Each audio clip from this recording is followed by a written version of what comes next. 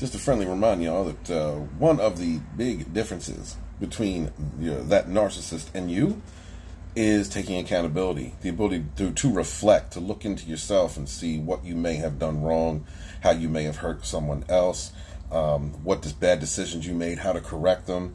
Uh, these are things that you do that the narcissist doesn't. And don't get it twisted. Anyone that is around that narcissist and knows what they're about, knows what they're doing, is the same way. They're cut from the same cloth. Those are other toxic people that will eventually eat one another.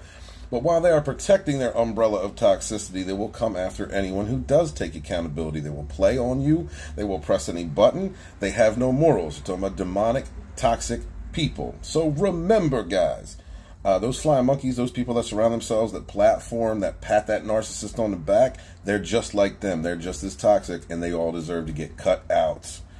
Be good to each other. Suffer no narcs.